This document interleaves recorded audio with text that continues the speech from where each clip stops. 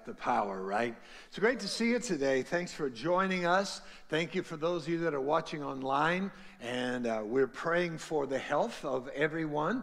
Here in this auditorium, we spray and spray and spray. Each side here has every other row seating, if that makes you more comfortable. And we're just so thankful that God has helped us, and we're glad that you're here today. Well, we're in this series on the Holy Spirit, and those of you that have been walking with us through Acts on the YouVersion, we came to the end today. Well, we've got another new one, so if you go to thefathershouse.com, and if you'll scroll down through there, you'll see the other one that we have, and uh, I'm a ringing a little bit up here, so uh, you'll hear, you'll see the other one that we have there available for the gifts of the Spirit. So sign up for that. Uh, join us. We had almost 120 or 30 last time, so it's a, I think it's an eight-day one. So that will be really, really good, right? Have your Bible with you, your iPad, your um, eyeballs, whatever you use. Let's make our confession. Let's say it together. This is my Bible. It is the Word of God. It is life to me. Today I receive the Word. I confess my mind is alert.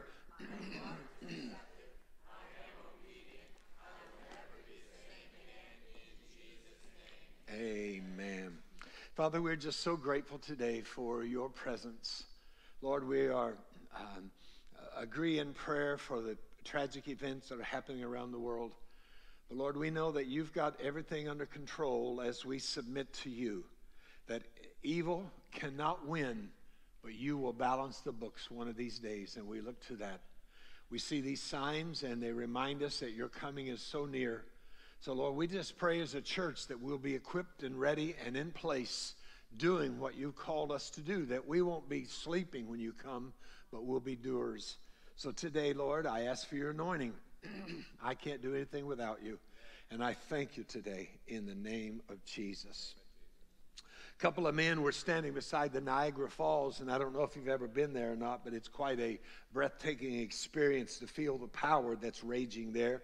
And one of the men said, You know what? Right there, you're looking at the most untapped use of power in the world. I think maybe the most untapped power source is the Holy Spirit. God wants us to live a life of uh, Christian power. Our theme verse that we've been looking at is Acts 1 and 8. Would you read it with me? It says this But you shall receive power when the Holy Spirit has come upon you. So let me just give you a review. This is what the fifth week or fourth week, let me fifth week, let me just give you a review. We said, first of all, we're not just talking about the power, we're talking about a person. The Holy Spirit is part of the Godhead God the Father, God the Son, and God the Holy Spirit. We said in week one that Jesus said, I'm going to send you another helper, Allos, another helper just like him. So think about this. just as Jesus was the helper to the disciples, the Holy Spirit is our helper, actively engaged in our life today. Isn't that awesome? So we looked and we saw how that uh, the Holy Spirit baptizes us, convicts us, draws us, and baptizes us into the body of Christ. And then we saw that the gift of Jesus, how that he sends the Holy Spirit upon us to baptize us in or with the Holy Spirit. I believe this Pentecost, people pray, oh Lord, send us another Pentecost. I don't believe Pentecost needs to be repeated. I just believe it needs to be appropriated. I just believe that today, you see, having the Holy Spirit power available to us is not the same as making ourselves available to the Holy Spirit. The Holy Spirit is here today to be with us. You know, the Holy Spirit is not given to us for entertainment or for us to have a level of maturity that we're better than somebody else. You know, the first week I talked about this extension cord. This extension cord here is plugged in to a socket. That socket is plugged into the electrical grid, and we have electricity coming through here. So, this, uh, this uh, cord can stand up here and say, Hey, look at me, look at me. I've got power. I got power. And he can say, Hey, uh, just, just come on up here, Jimmy. And not, not yet. No, just kidding. And uh, stick your fingers down inside here and let's see what happens. So here's Jimmy. So is that the source of power? You know, there's a lot of people say, well, I want the power because I want to shake. You know, I, I want to feel that power. I want to be able to lay hands on somebody and knock them into the next century. You know, I want to. Uh, that's not the purpose of this accord. It's not that we could frame it and say, look at this nice extension cord. Isn't it awesome? No. This extension cord is made to be a channel. A channel through which the power comes so that we could take this light that doesn't work by itself and we could plug this light in. And then what we could do is we turn the light on and it works. See, the Holy Spirit in our life is not here just for show off or to try to be more important than somebody else, but it's that He can flow through us gifts, abilities, ministry to others. It's not so we can just sit back and, and say, Yeah, I, I, I have a prayer language and I pray, as Paul said, more than you all, and somebody else, and, and you don't. So that means I must be one. So just frame me, put me up on the wall. I'm better than. No, we are a channel through which the Holy Spirit flows. Hey, how many of you like to receive gifts? How many would like to have this gift today? We like gifts, right? I like gifts. Do you have any gifts that you've never opened? Yeah. If you're like me, you give me a gift, I tear it in right there. You say, Anita says, save the paper. We might use, save the paper. Somebody just gave me a gift, and I'm going to open it. But you know what? I really believe with all of my heart in the body of Christ, in believers around the world today, there are a lot of gifts that have never been opened. God has given us gifts and we say, well, you know, yeah, maybe maybe that's for later when I get more mature, or, or yeah, maybe that will work with somebody else, but not now. But and so, uh, what we're going to look at in the next several weeks is that we're going to look at the gifts that God has given us. Uh, 1 Corinthians 12. I don't believe that we I, I, I don't believe we have unopened gifts because we want to just ignore gifts or just ignore God's will for our life. But I think sometimes it's because we're uninformed that we're misinformed. Here's what Paul said, 1 Corinthians 12. Now, concerning spiritual gifts, brethren, I don't want you to be ignorant. The word ignorant there means I don't want you to be uninformed. I don't want you to be misinformed. I don't want you to be unaware of gifts. And then in the rest of 1 Corinthians chapter 12, two, three weeks from now, we'll be looking at that. And he talks about the spiritual gifts. Paul lists off the spiritual gifts. But I'm not going to jump into that today. I think a lot of times when people talk about spiritual gifts, they try to lump all the spiritual gift listings into one the gifts of God, the gifts of Jesus, the gifts of the Holy Spirit. And some spiritual gifts tests just really make me sick because I think they're, they're just weird. They're just weird. I mean, a person is taken through that, and all of a sudden they say, Whoa, I have the gift of uh, an apostle. What is an apostle? But you see, what happens is in a lot of spiritual gifts tests, they take three different gift listings and they put them in one, but that really is not the way that we have to do it. There are three main gift lists that we want to look at. They're different ones, but they're the gifts of the Trinity into our life. Now, if you have a spirit filled study Bible, which I think everybody should get before you get to heaven, some of you just got in a comfort zone that you use the same Bible you've always used. I challenge you to get a spirit filled study Bible. At the end of Revelation in the Spirit filled study Bible, there's a whole section called The Holy Spirit Gifts and Power. and in that, they go into even more detail than what I'm going to share with you this morning. So, first of all, there are gifts that are given by God. That, that's your fill in. There are gifts that are given by God. We call these motivational gifts. Motivational gifts. They are supernatural abilities that God gives us at new birth. at new birth or when I become a Christian. And He gives those to me for the work of ministry, to be available to see the kingdom building and the kingdom growing. These things are basic motivations. They, they, they move you, they, they motivate you. And you're going to see yourself in some of these as we're talking about them today. The passage is in Romans chapter 12, verses 3 through 8. For I say, through the grace given to me, to everyone who is among you, not to think of himself more highly than he ought to think, but to think soberly, as God has dealt to how many of us? Look at your neighbor and say, You are an each, so you are one. So you have one of these gifts. He's given to each of us, each one of us, one of these gifts, but He's also given us a measure of faith to open that gift and to use it. So He says, For we are many, we, being many, are one body in Christ and individually members of one another. In other words, he's talking about how does my body work? My body has many members. I have fingers, I have toes, I have an arm, I have liver, I have a heart, I have eyes, I have a brain, I have all of those, I have blood. So all of those things comp- uh, make up my body. So that this morning when I got out of bed, I said, I'm going to church. It's going to be great.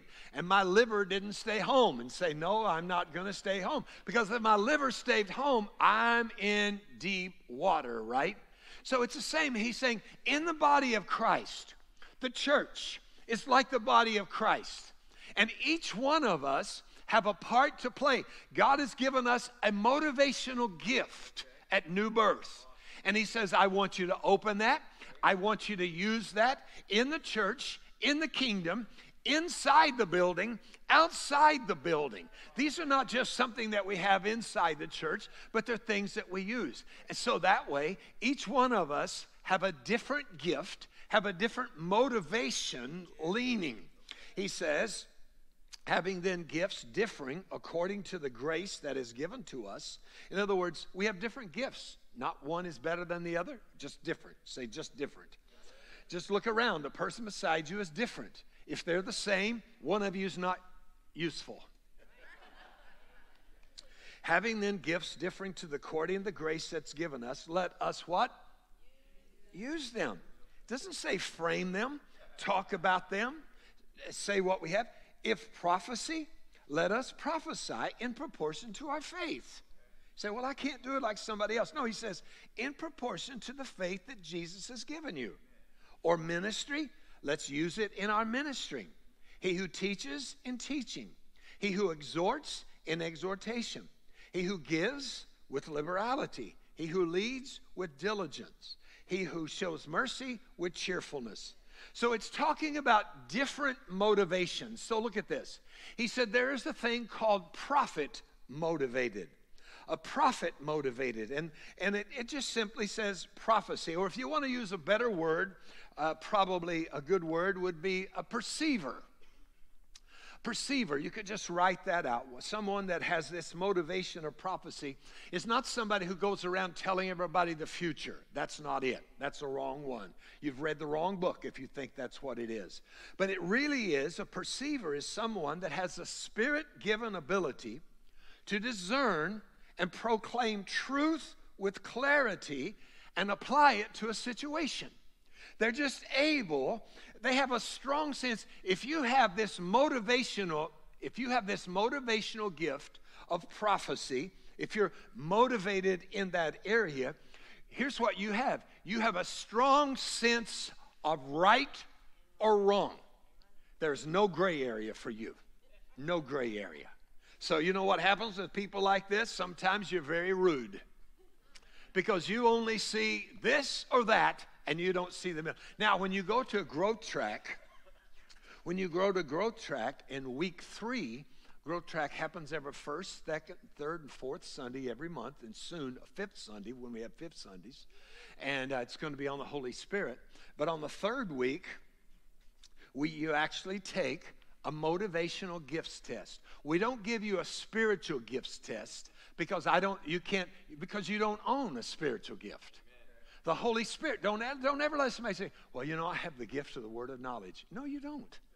The Holy Spirit owns that. I'll talk about that in a, in a few weeks. That's a misnomer because sometimes people lump them all together. It says the Holy Spirit can work any of those gifts through any believer, that, it, that through any Holy Spirit uh, empowered believer. But these gifts, these motivational gifts are the basic motivational for you to do life. So when you take uh, uh, in Growth Track, take the short little exam, takes probably about two minutes, I guess. And then it talks about if you have this area here of a truth teller or perceiver. It says that the Father's house, here's where you could probably serve. And then the second is, is people that are ministry motivated. Ministry motivated would be people that have, they just love to serve. It can be interpreted as someone who's, uh, here's what it says from the growth track. A server is a motivated person whose nature is to serve others in some practical way. You're never more happy than you are in serving someone else. And then there is the teacher motivated, the teacher motivated. And that's the person who loves to instruct. They're the type of person that, uh, if, if you have this gift, so when I teach something that you've never heard before, you don't just say, Oh, yeah, I accept that. You know what you do? You say, I'm going to have to study that. I'm going to have to make sure that lines up because that's your that's your basic motivation there so there's nothing wrong with that you like to help people understand and so you break that down some if you ever hang around if you ever play golf with the teacher with a motivational gift of teacher every stroke i make my resident teacher my wife knows how to improve that swing how many of you know teachers that are like that? Yeah. Some of you say, I am E. Encourager exhorter, uh, encourager, motivated. That's a person who just loves to reassure people. They're like cheerleaders in the body of Christ, you know. They're very friendly, uh, they're very people oriented, and they just like to be around people. And then there's a giver motivated. They, they love to give. Their motivational gift is to give their time, their talent, and their resources to the work of God. And they see a need and they want to f- and they want to meet that need. Leader motivated, people who lead. The person with the gift of leading or administration has a divine ability to understand uh, how you carry this vision on to the next step. And then there's the mercy motivated. Mercy means to feel sympathy for or feel the misery of others. I always score on these motivational tests a zero here.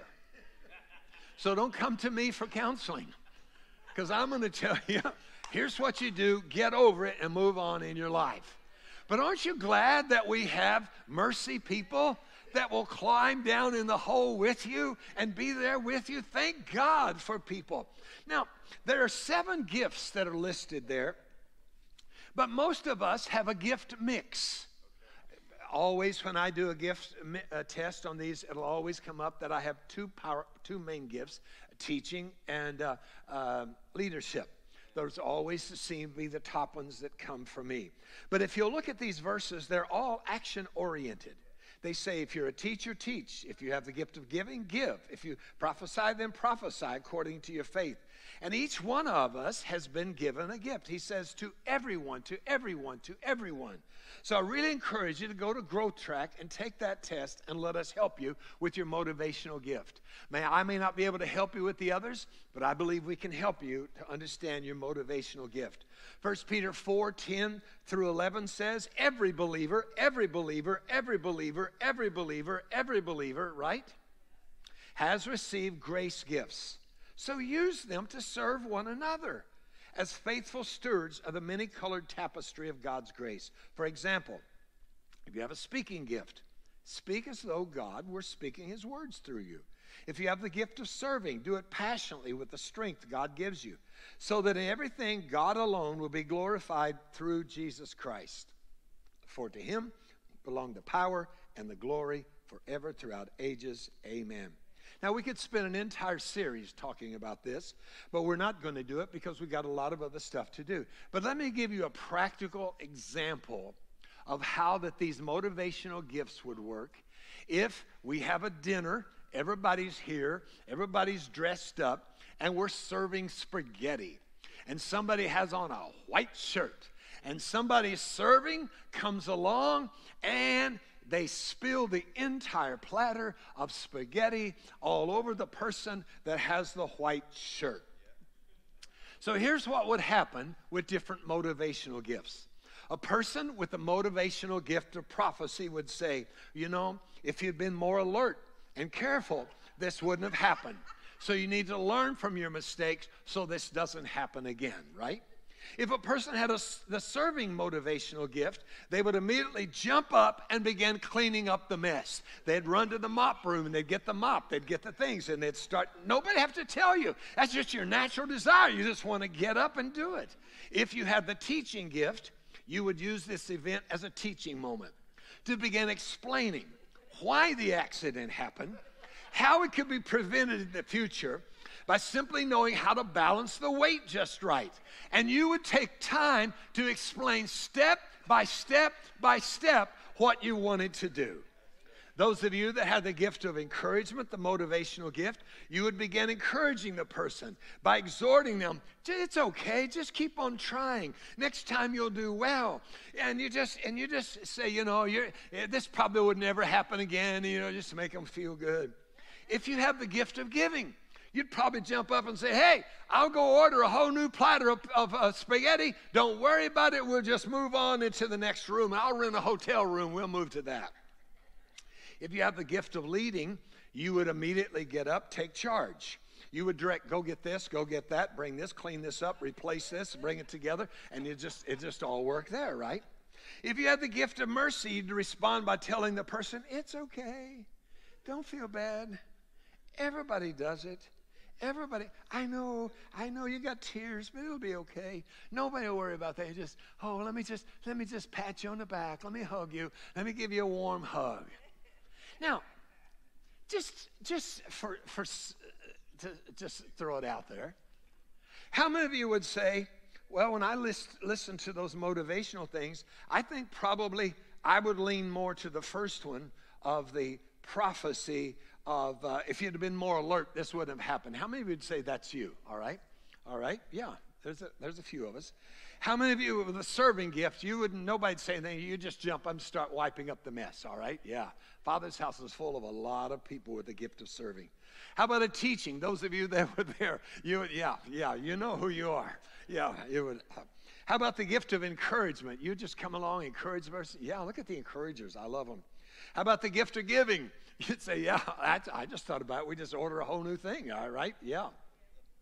How about the gift of leading? You say, you know, you just understand what needs to be done, how that would be done. How many of you have that? Yeah. Yeah, we have a lot of leaders in this church. Yes, we do. How about the gift of mercy?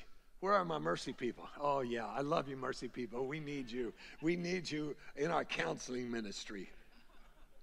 So, those are gifts given by God when you become converted gifts given by God. And when you go to Growth Track, we'll help you understand those. The booklet has all the uh, different ways how those are used, where you can plug in and do all those. So those are good. The second gift listing in the Bible are the gifts given by Jesus. the gifts given by Jesus. And these are office gifts. These are office gifts. You find it in Ephesians chapter 4, verse 11 and 12. And he gave some to be, would you underline that word to be? he gave some to be apostles. We'll look at this later. I'm not going to spend a lot of time on it today. Some prophets, some evangelists, some pastors, and teachers. Here's the reason for the equipping of the saints for the work of ministry, for the edifying of the body of Christ, till we all come to the unity of faith and the knowledge of the Son of God to be a perfect man to the measure and the stature of the fullness of Christ. He says here, Jesus has given gifts, has given gifts to the body of Christ. And he says that he has given those that are apostles and prophets, evangelists, to equip the church, you, to do the work of ministry.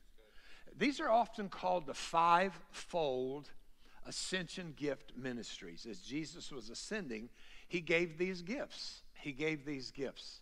He gave these gifts. You don't choose these. You don't do a spiritual gifts test and they come up and that's who you are. These are gifts. These are gifts. Notice, first of all, he says they are to be. They're to be something. They're in a ministry position, in an office. And so they're there. And second of all, it says he gave some.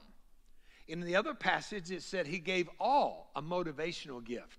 But here it says he gave some to be an apostle, a prophet, evangelist, a pastor, teacher. And we'll look at that later. And then there's a third listing called the gifts given by Holy Spirit. Gifts given by Holy Spirit. Notice the Trinity is involved in all of those. We said in the very beginning, uh, it's God the Father, God the Son, God the Holy Spirit in week one.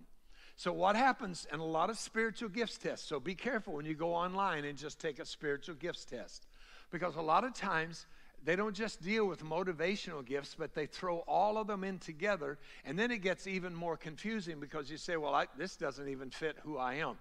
So, just stick with this. If you're going to do a gifts test, it should be on the motivational gifts. The other gifts will find you.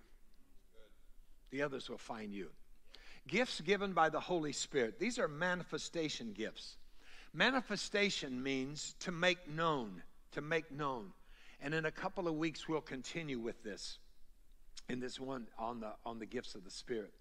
The Holy Spirit is the giver, He's the one who owns these gifts, and He manifests them when they're needed. Listen to me. We're going to read these gifts in just a minute. And I want you to realize this. If you are a spirit filled believer, if Jesus has baptized you in or with the Holy Spirit, all of these nine gifts are available to flow through you when the Holy Spirit wants to use that gift through you.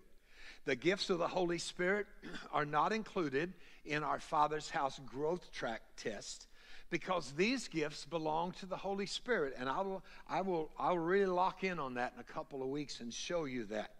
So that means that if you're in a small group setting, you don't have to wait for Pastor Tim or, or, or, or, Michael to be there or Eddie to be there because if there's a need that arises, the Holy Spirit at any moment can operate any of these spiritual gifts through any spirit filled believer.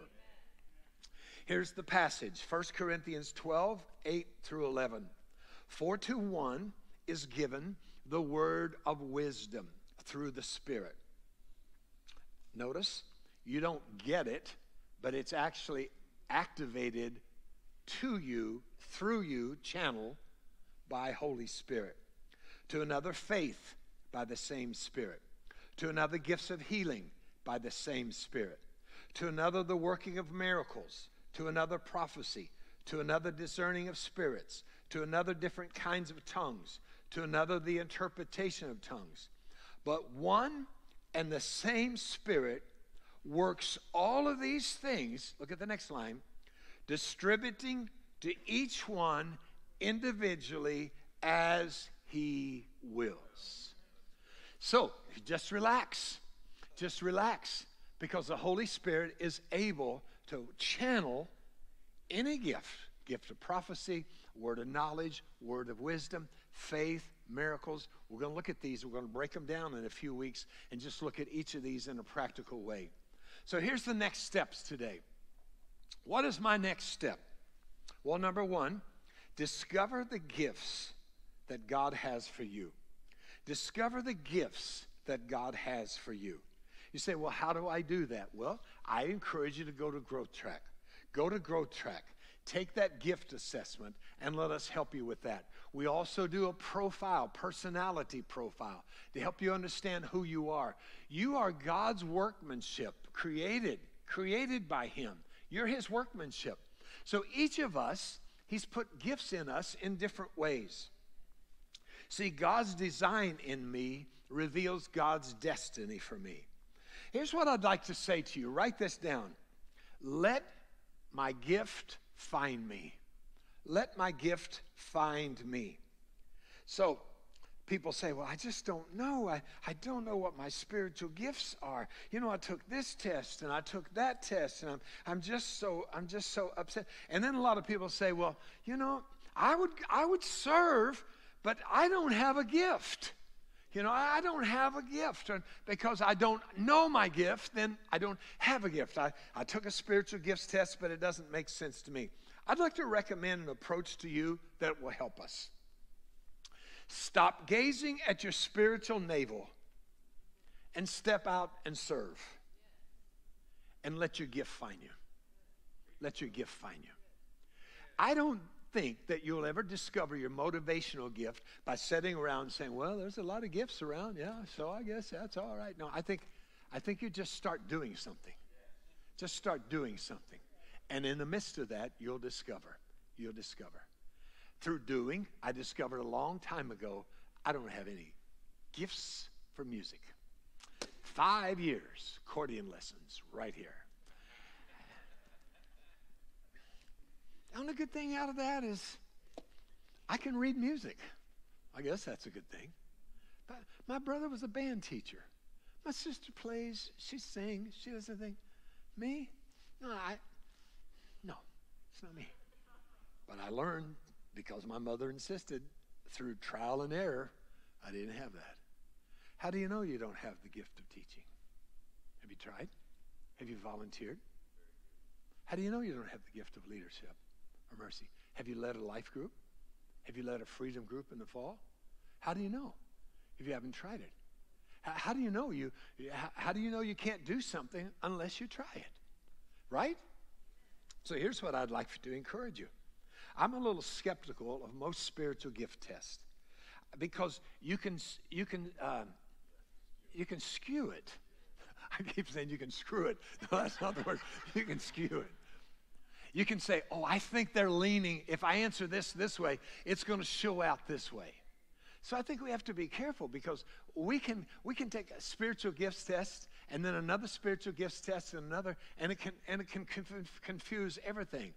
I like to think that Scripture helps us take it a step farther. In church, in your small group, or with others, why don't you just pause and ask? Hey, is anybody physically hurting right now? Anybody suffering with chronic pain? Anybody have a need right now or you have a decision that you have to make?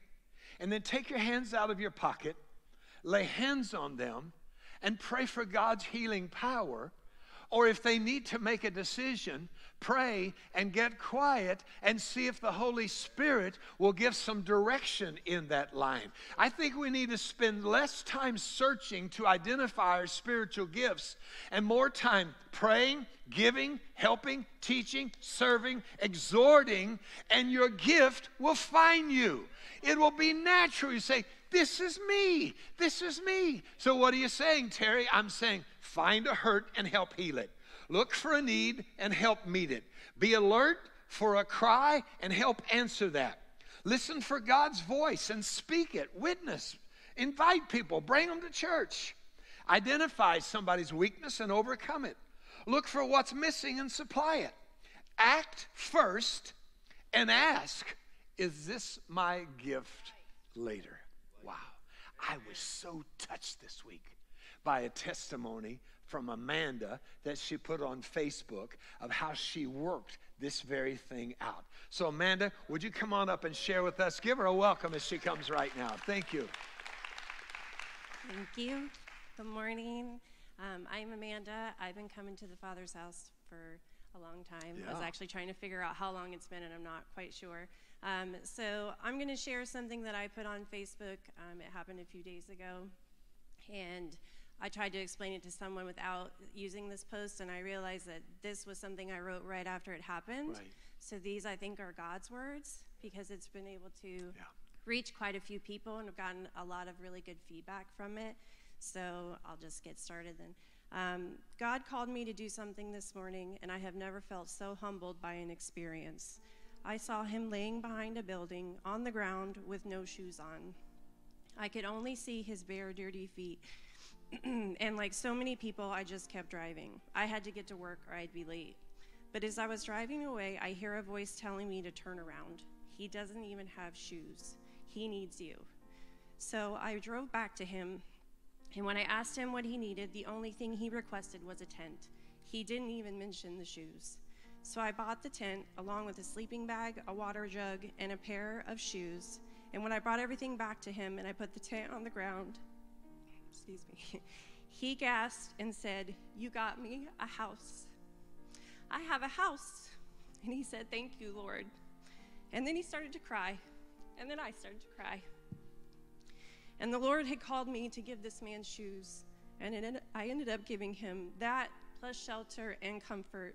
What an incredible, amazing experience. I will never forget this encounter. And I know this young man will never have to question whether God loves him. And I realized today, as I was driving here to talk about this, that I was pretty scared before I turned around and went back to this to this man. And as I was sitting in the, the spot right in front of him, he was asleep. It's about eight o'clock in the morning. I'm all dressed for work, and he's there sleeping, just on his face. He's just on the ground, no shoes. And I got out of my car, and I, I kind of had to startle him a little bit when I woke him up.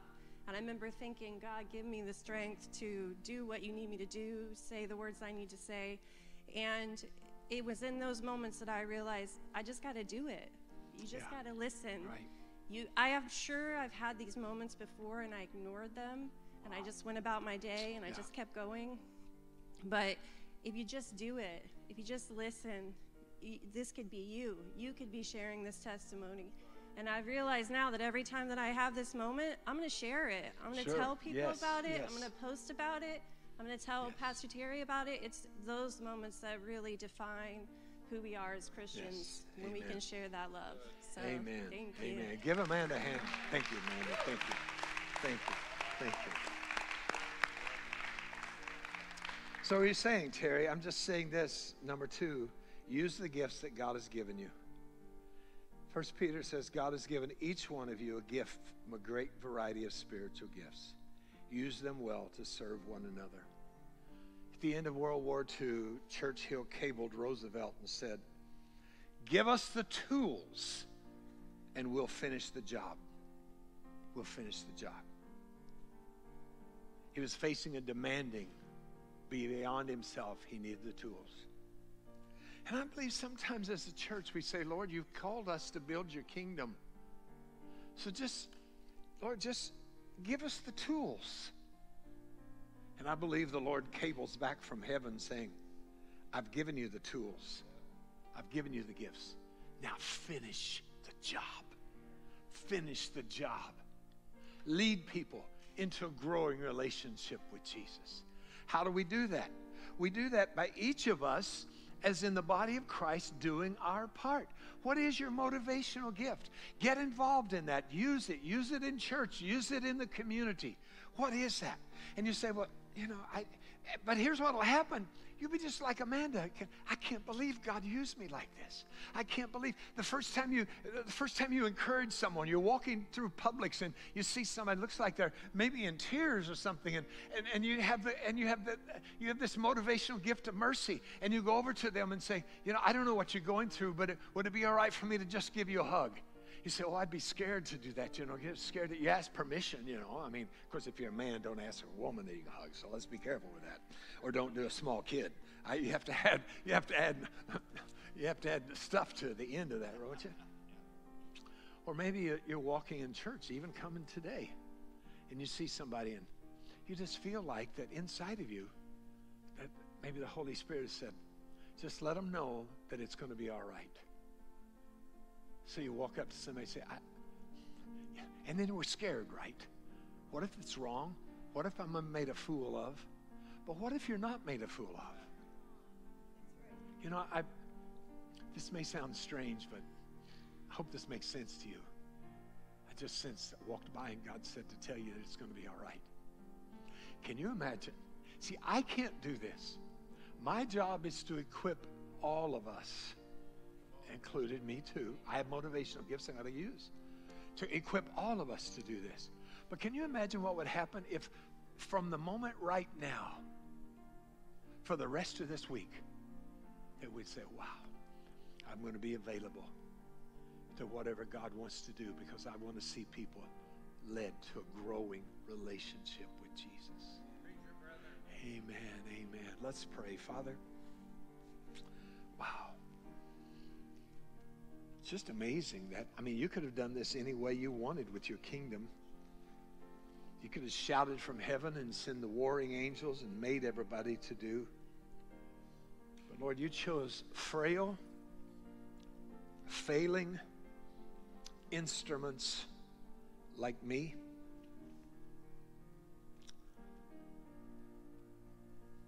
To motivate us to do something for others to build your kingdom. And Lord, we can't be the church that you called us to be unless we all find our place in the body of Christ. And no one is better than any other. The eye can't say to the finger, I'm more important than you. The mouth can't say to the heart, I don't need you. Lord, it takes every one of us. And we're not to try to evaluate our motivational gift by someone else's. Because you said, To whom much is given, much is required. As you continue to just talk to the Lord and pray, maybe you're here today and you've never invited Jesus into your heart and into your life. That's the first step. That's the first step. And the Holy Spirit is just touching your heart today. Maybe you've gone to church all of your life, but you've never prepared for your eternity. Jesus Christ came. He died on the cross for your sins and my sins. Some of you are carrying the load of your sin and your guilt. Even this week, you're just carrying the load of that. Jesus came to take that. You can't pay for your sins. You can't just get better on your own. But Jesus said, I'll take your sins. He went to the cross. He paid the penalty for my sins and yours. And then on the third day, he rose so that we could rise in victory. So if you're here today or you're watching online and you say, you know what, Pastor, today I need to invite Jesus into my heart, rededicate my life to him. Would you raise your hands right now and let me pray for you? Let me pray for you today. Thank you. Others today, just lift your hand if you're online. Just lift your hand. Let me pray with you today. Hey, let's pray this prayer together. Father God, thank you for loving me. Thank you for caring for me. I ask you to forgive me of my sins and to cleanse me and to fill me with your spirit. As best as I know how, I'll serve you all the days of my life. In Jesus' name, amen.